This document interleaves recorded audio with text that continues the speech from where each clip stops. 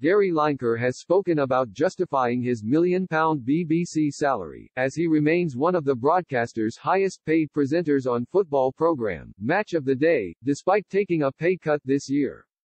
Football pundit Gary Lineker has addressed his BBC salary as the broadcaster's highest-paid host for his presenting role on Match of the Day, saying that he's fortuitous to have landed the opportunity.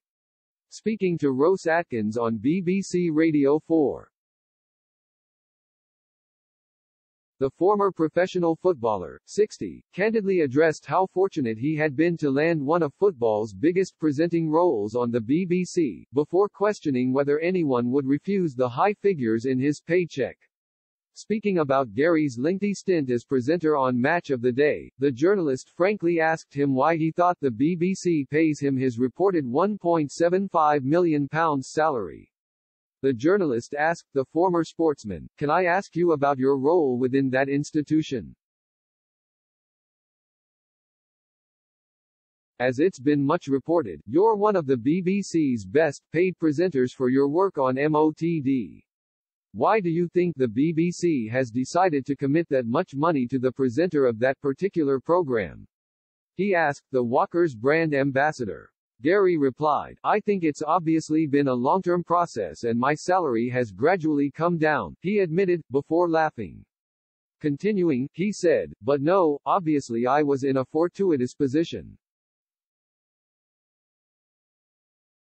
I was sought after by numerous channels over the years and football is global, it's big business. The Star City the Euro 2020 viewing figures, which reached 30.95 million, to point out how football draws in some of the biggest numbers on TV. Gary went on, it does the biggest numbers on television, more than anything else as we've seen in the Euros again this summer. And there's a lot of competition. The BBC had to fight for, Gary began, before trailing off. Starting again, he continued, I mean, it's hard talking about this for myself, obviously, because I've realized how fortuitous I am.